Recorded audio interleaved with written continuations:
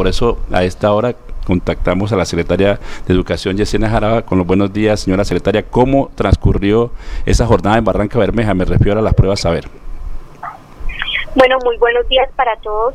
De verdad que, el día de ayer eh, fue un día crucial para nuestros jóvenes de Barranca Bermeja. Tenemos todas las expectativas, reconociendo el trabajo que vienen llevando a cabo en, en esa preparación para, para las pruebas IFES de que los resultados van a ser los esperados. De verdad que eh, dar muchísimas gracias primero al Dios Todopoderoso, a los rectores, a los coordinadores y por supuesto a los muchachos que han puesto todo su empeño y todo el interés en prepararse. ¿En qué sitios se desarrolló esta prueba ayer? ¿En qué colegios? ¿En qué universidades? Se desarrolló en diferentes, habían diferentes puntos eh, en los cuales los estudiantes iban a presentar. Con, a ellos se les dio con anterioridad cuál era el punto en que se debía presentar cada institución educativa. Eh, asimismo, contamos con el apoyo y con el acompañamiento y el respaldo por parte de los rectores, que también estaban muy comprometidos. ¿Cuántos estudiantes en Barranca Bermeja presentaron estas pruebas? Se fue. Se cayó la llamada. Bueno, estábamos eh, indagando sobre este tema porque es importante saber. El 22 de octubre se conocerán los resultados de las pruebas saber. Eh, recordemos que esto también permite eh, esos incentivos que han sido polémicos para las instituciones que logren un puntaje importante. Queríamos preguntarle justamente a la secretaria de Educación cómo fue esa tabla de posiciones en las pasadas pruebas saber en Barranca Bermeja, tanto en las instituciones públicas como eh, de carácter privado en, nuestra municipalidad y la validación del bachillerato que también se da, se aprovecha para hacer eh, esa validación con estas pruebas saber. Por tanto, entonces, ayer vimos mucha gente en la Universidad Cooperativa de Colombia, Diego Hernández de Gallegos, creo que fue el sitio donde más se concentraron estudiantes para realizar esta prueba saber. En su casa este fin de semana giraba en torno a las pruebas saber. Sí, en la casa sí estábamos muy atentos. ¿A usted cómo le fue con esas pruebas? Muchos nervios. Eh, un poquito, pero creo que le fue bien porque eh, en el seminario eh, exigen mucho, trabajan mucho este tema. Señora secretaria, le preguntábamos, retomando la llamada, ¿cuántos estudiantes de Barranca Bermeja presentaron estas pruebas saber ayer? Sí, en el día de ayer más de 2.000 estudiantes de las instituciones oficiales estaban presentando esta prueba y como le decía, de verdad que tenemos eh, grandes expectativas acerca de los resultados.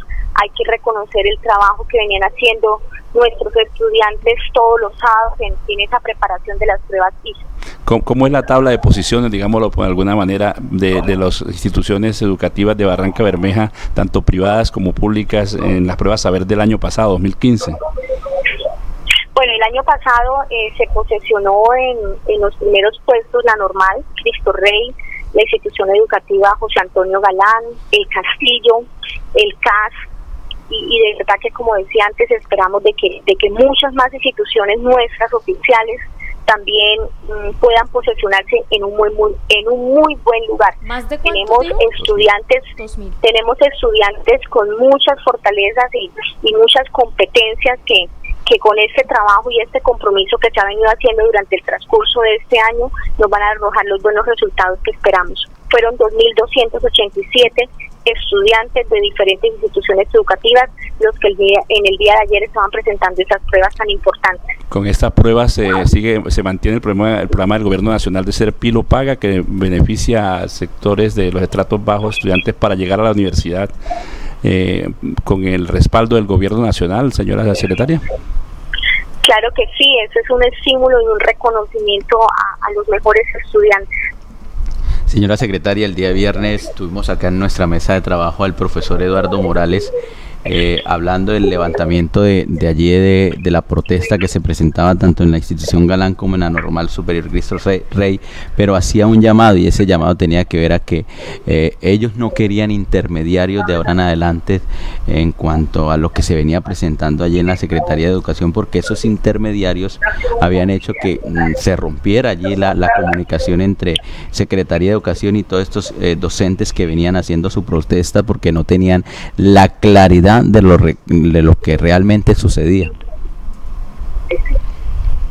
Yo considero que, que ante todo es tener la disponibilidad y tener la buena actitud cuando uno requiere de, alguna información.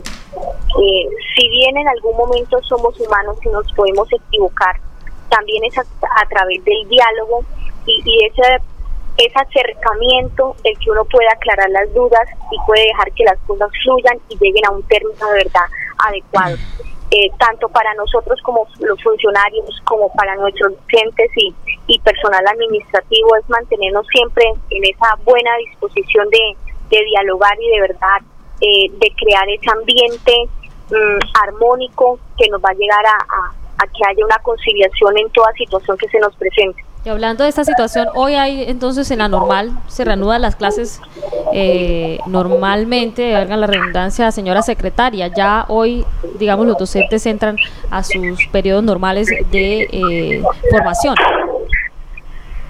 Claro que sí, ya, ya hemos venido haciendo eh, varios acercamientos, hemos venido aclarando cuál es la situación, que nos tengan un poco más de espera eh, si bien el mismo sistema mm, nos, nos lleva a que tengamos que esperar para que esos recursos sean incorporados eh, y en estos momentos está en el proceso que debe darse también en el honorable Consejo Municipal.